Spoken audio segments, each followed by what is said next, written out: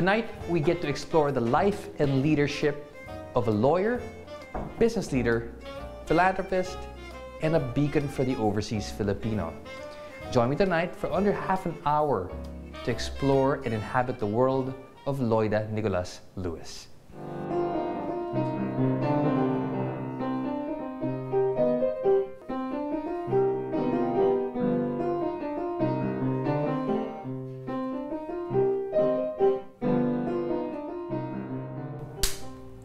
Loida, thank you so much for hosting us in your lovely flat. Thank you. Thank you for having me. Well, listen, it's such an interesting story, but like with all great stories, we want to start at the beginning. Uh, we want to talk about your childhood, the environment you grew up in, especially your family influence. So let's talk about your early days in Sorsogon. Growing up in Sorsogon is uh, almost idyllic. And then we were, you know, less than 5,000 probably in the entire town. And I, I, I went to public school. My father wanted me to have the best education. And at that time, the private school were below par. And I was so glad I went to public school because I got exposure to, you know, people Different of walks of all. life, yes, yes. exactly. Yes. At, but at that time, I didn't make any distinction. So they were friends, and it's in hindsight. I, I, I'm just remembering that some of my classmates only had bakya or wooden you know, slippers. So, uh, you know, my, my childhood was uh, the best, I would think. It was like an, immediate immersion already. But uh, what's also wonderful about it, side by side with a loving family and an entrepreneurial family, that also ended up forming your sense of, I guess, responsibility and enterprise. Tell us about your father's furniture business, how he involved you and your and, and your family and your siblings in the business itself. Well, actually, when we were growing up, my father's business was Nicolas Furniture. He shortened it to Nickfer, making furniture. So Monday to Thursday, he would be in Manila. And Friday, Saturday, Sunday, he would come to Sorsogon. And so that's always a feast because he would bring food, lanzones or mango. From the big city, right? Yes, yes, from the big city. So we would have always, uh, you know, parang fiesta when he comes. He's very entrepreneurial. And so when I was growing up, making deals was like, you know, ordinary. And my mother was uh, entrepreneurial too. She studied uh, pharmacy, so she had her botica, her store. So, you know, my father was continuously starting businesses. So we had a bowling alley and pool, pool um, you know, recreation. And we had a movie house named after me, Loida Lewis. You've come full circle and put up a microfinance foundation. How much of your formation when you were a child have you remembered and imparted now that you're getting into uh, setting up livelihood centers through your microfinance foundation in the province? Well, I think it's very much my father's history. He was poor, I mean, meaning to say he was orphaned when he was 11. But when he was living with a very rich uncle in Daet, he had in his mind, I'll be like him in business. And so for me, that's already a mark of, you know, whatever you, wherever you came from, your ambition can be realized by hard work. Moving to the big city, I mean, obviously the temptation to stay in rural Sorsogon, an idyllic area was there, but what prompted you to move to the big city and also from the public school system into a convent school? Tell us about that. From grade six, my mother said it's time for us to have a Catholic education. So we went to Albay, St. Agnes Academy, where my mother studied. Okay, that was a little tough, especially for my younger sister, Imelda Nicolas. Now she's Secretary of Commission on Filipinos Overseas. So for her, she was so homesick. So uh, grade three, four, so she went back home and I continued with high school. You know, I adjust very well so that being interna in a convent school was um, great because, you know, our, our classmates were from all over Bicol. So I got to know friends from Camarines Norte, Camarines Sur, Albay, Catanduanes, Masbate. So it was a very good mingling of, uh, of people of the same, from the same region. In St. Agnes, it is a strengthening of, uh, you know, a, a work ethic. It's a Benedictine school, and so that ora et labora. Labora, yes. You pray and you work. Okay, so that combination. So I think all through that my six years in uh, St. Agnes, I placed it into my DNA. Well, certainly it was forged further there and, and a bit more entrenched. Uh, did you think that helped you actually as you made your steps towards St. Teresa's, for example? Ah, St. Teresa's, Belgian sisters. That was in a way culture shock because I'm provinciana, from B. Okay, and so many of my classmates have been classmates for you know since kindergarten. so I was a little, a little intimidated. And I said, since nobody knows me, I worked so hard in high school. So I said, I'm not going to work as hard. So on the first year, my grades were so-so. But then my sense of competition kicked in and said, no, I'm as good as Just they a one-year adjustment period, and then you moved in. That's right, I moved in. yeah. Well, then you graduated cum laude for that wonderful school, and also that sense of activism came in. How did you manage to balance your, you know, your studies and your activism? It seemed to be two, you know, diverse forces uh, pulling you apart. But how did that happen, and do you decide to get that balance together? No, it's really, you know, you can study as hard and then have a social life as hard. So in our case, we were trained also under St. Teresa's to action contemplation, meaning you pray, and if you're effective in your prayer, in your conversation with God, it should come out into action. Well, social justice certainly was the theme in your life, especially as you transitioned into law school. Can you tell us about another transition? I mean, from a convent school now to the big state university and the top, country's top law school. Tell us about how that came to be. Uh, did you manage your studies well, given the fact that there was greater social activism in the university at that time? Being a convent bred, I almost considered, and, and then you get you get all of this bad uh, news about UP, how, how godless it is, and all that. So at the beginning, I was truly like a little nun, okay, Yeah. so praying before studying and things like that. But then, by the second year, I understood that the UP is a small microcosm of the Philippines. Going to a public school like UP, College of Law, Yes. then you have the, you know, the whole spectrum of economic status, but always very bright. With a focus on excellence. I mean, it's, it's, so you've got the unity and diversity in that sense. Exactly. And also came like full circle from what you had because you started off in the public school system, all walks of life there, but now you're here at the apex of your education with the best of the best, but also a constant education on social class and uh, social reality. Tell us how, how you're able to, I guess, forge that all together, especially with a position like the UP Law Review. I, here you're looking at you're, you're looking at cases, you're looking at social realities. How did you balance all that? I think you just do. You just do. Um, always a goal. My goal is to do well. Okay? I was hoping I would graduate at least again cum laude, but I didn't make it. Uh, Top 10% is not too UP bad. is too tough. It's too tough. I think by the time I was in UP, I was already ready for the world. A little bit, you know, protective of myself, being a colegiala. But as I said, I adjust. I adjust very well. I bloom where I am planted. When the Vietnam War was very active, we did the first uh, rally against uh, Johnson, President Yes. Johnson, because he was trying he to get the Philippines. yeah, he escalated the war. The Cold War is now reaching into the Philippines at that time. right? Exactly, the late 60s, exactly. yes. yes. So when we had a rally in front of the American embassy, you know, we were there, you know, rabble rousing, and then it ends at five, and then there's another group of the left bringing it to Manila Hotel, okay, and then that's where you know all hell broke loose, the first violent demonstration, and so that was front news. in the United States for my husband, discrimination is in the atmosphere. It was very polarized, at that, especially at that time. Uh, very polarized, and uh, not only polarized, it's always because you're black, you're inferior. And so for my husband, that fight was everlasting. I mean, it was constantly there.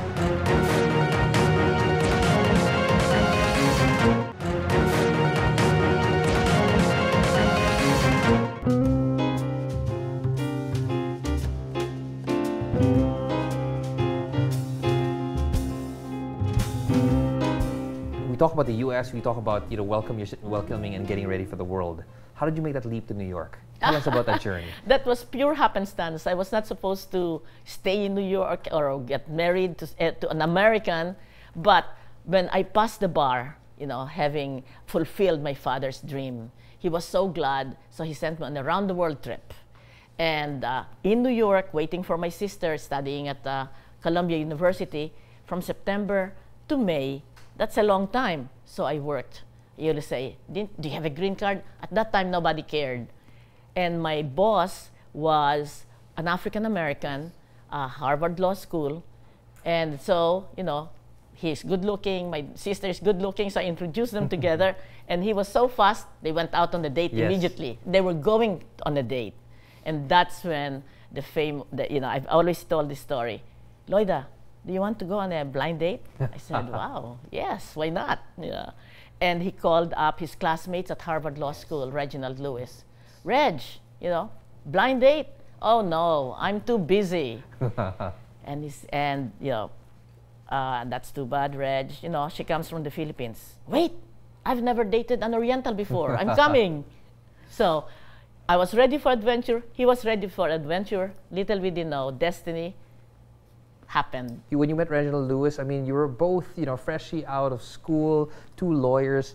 But then, you know, the calling for business was there. Tell us how you transitioned into the world of business through TLC Beatrice. Well, actually, it wasn't me. I, I guess that's why I married my husband, Reginald Lewis, because for early on, as I got to know him and I fell in love with him, I know that he's better than I am. And also in his mind, he's going to go to the very top of American so- economic society. His aim was to be the richest black man in America. And, and, you know, that, that- that's where I wanted to pause for a bit because I think that age of ferment was also happening in the U.S. You were having civil rights uh, issues. It was still the thick of things at that time. How was your relation? You're both minorities. You had just, you know, gotten your, you know, your, your, your residence papers. How did you fight for acceptance? Was that easy for you as individuals, as a couple, and, and then as business people? Tell us about that. Well, again, again, as for myself, I never considered myself minority. However, in the United States, for my husband, discrimination is in the atmosphere. it was very polarized, at that, especially at that time. Uh, very polarized, and uh, not only polarized, it's always because you're black, you're inferior. And so for my husband, that fight was everlasting. I mean, it was constantly there. In fact, one of the pictures he loved is a drawing of a man whose head is in a vice.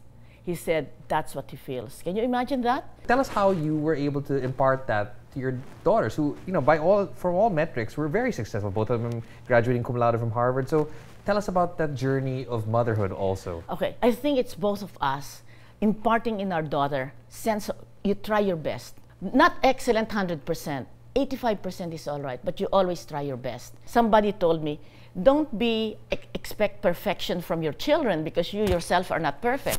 So for them, we are emphasizing two things. One, respect your elders.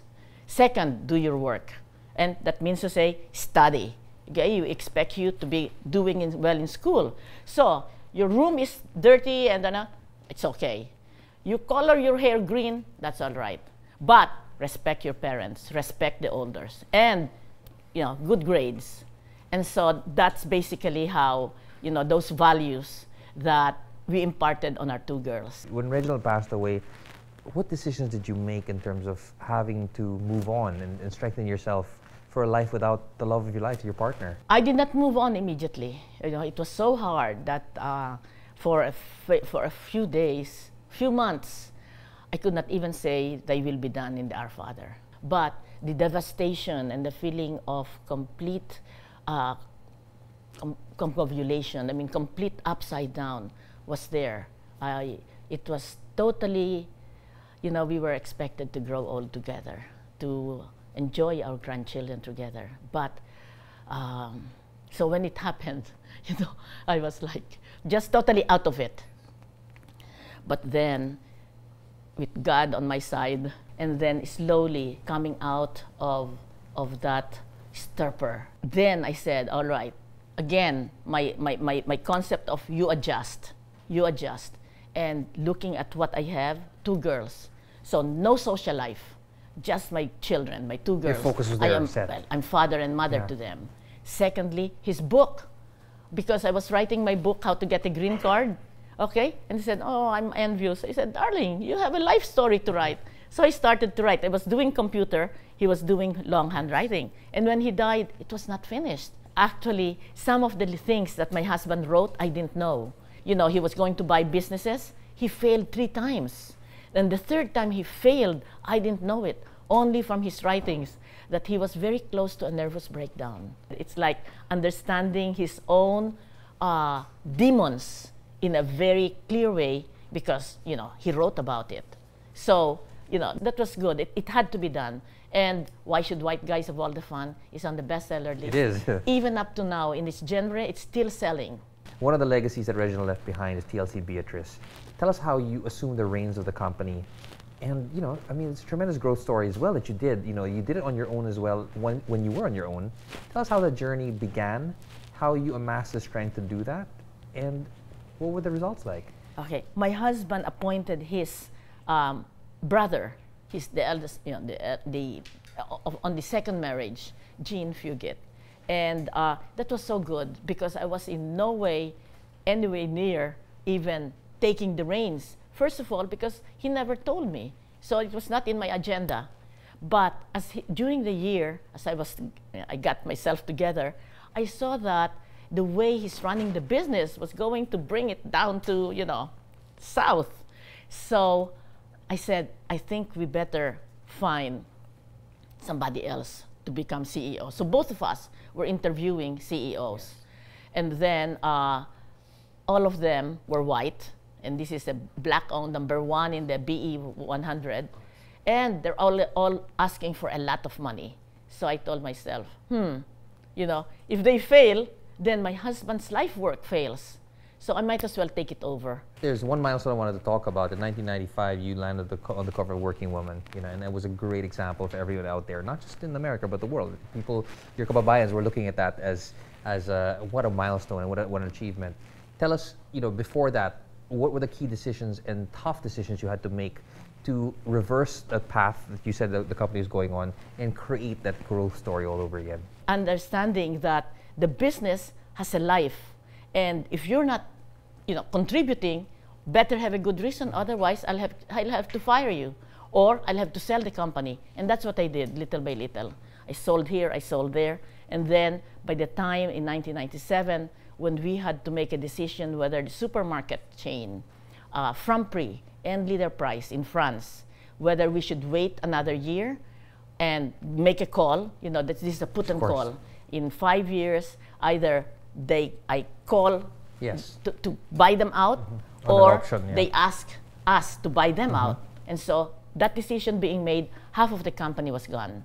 And so if half of the company is gone, then what am I going to do with the rest? Sell it. So I sold it piece by piece by piece.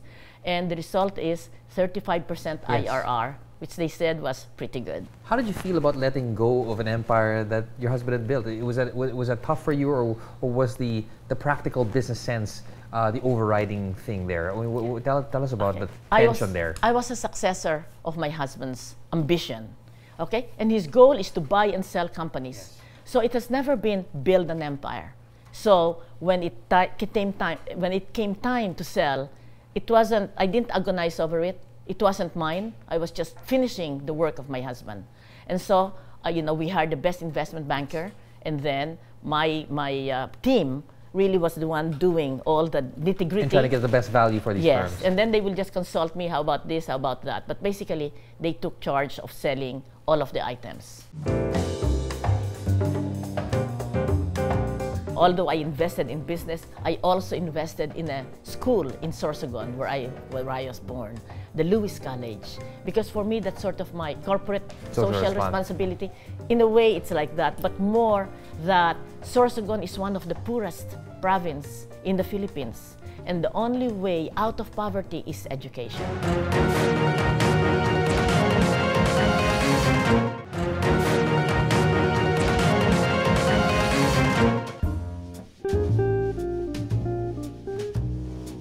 Lot of this business experience, this personal experience as well, you try to translate it full circle by building more businesses or investing in them in Asia. Tell us about the decision to do that, um, and what are you looking for in terms of um, investment ventures and outcomes? Okay, well, this is the sad story because having been so successful in running a two billion dollar company, okay, I started to, to believe my own press release that I'm so good. And I did, not, I did not follow my husband's own mantra don't start a business, buy a business. Because all startups, out of 100, maybe to five, yeah, most 10. It's the attrition rate of Exactly, yeah. all right. So I did not listen to that.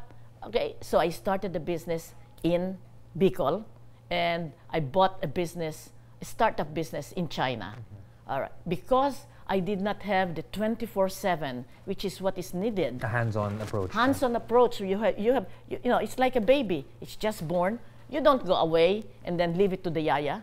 A business startup, you have to watch 24 7. And I didn't do that. Unfortunately, both were bankrupt. And so from that time on, anybody comes to me, Loida, a great business, how much money? Thanks, but no thanks. Your wisdom is already built in. That's that. no, no, no. I, I, I know that I'm just throwing away money Yeah. if I invest in business. So I'm not investing in any business. As I, I, you know, my husband always says, this man who was very successful when he was young, okay, asking him, can you invest in this? I said, investment, no. Advice, yes. So that's what I say too. Okay, no more business, but if you want business advice, I'm available. Can you tell us about um, that part of your life now when you go to social causes, uh, education, for example, and more importantly, as a pillar of the Filipino American community, what have you done and what have you decided to do to make sure that that role is lived to its fullest? Well, on, on the one side, you know, although I invested in business, I also invested in a school in Sorsogon where I where I was born, the Lewis College, because for me that's sort of my corporate Social social, respons- responsibility. In a way, it's like that, but more that Sorsogon is one of the poorest province in the Philippines, and the only way out of poverty is education. And so by starting it, that's my way of giving back to the province where I grew up. That is sort of responsible for who I am. So I have the Lewis College, and one third of our college students are working students, meaning meaning scholarship. Yes. Okay, so that's how I manage to uh, segue into, in a way, philag- philanthropy in my own home uh, hometown. Uh, so I'm just a member of, uh, of course, the foundation, Reginald. Lewis Foundation. That's you know family. So I'm only a member of the board of um, Apollo Foundation. That's the African American, Yes, very the famous. theater, yes, the absolutely. theater, okay. And then the uh, Migration Institute in Washington D.C. Okay, they meet only twice a year, but very active with the Filipino organization, the U.S. Pinoys for Good Governance. And how do I choose? Where I choose what is uh, very current that affects the life of the Philippines, and this is the China invasion of the Philippines. So 2011, we did the first rally against China when they were threatening to put up an oil rig, a giant oil That rig. went quite viral, by the way. yes, yes, I'm glad it did because, you know, we sing Asa man lulupig, di ka pa sisiil. And here we are, sinisiil na tayo. I mean, they are right on our shore. with all these things that you shared and with all the plans that you have in the future, I wish you all the best. And again, I appreciate you sharing your life story with us. Thank you. Thank you very much. Loida, thank you. Okay. It's been a pleasure and a privilege to be able to share this journey of Loida Nicolas Lewis in terms of two things for me that I took away. The one is how to break boundaries for yourself and others, and the second is how to build platforms that encourage people to come together and change society for good. Join me again next week as I explore the mind and the moves of the countries and world's most important people.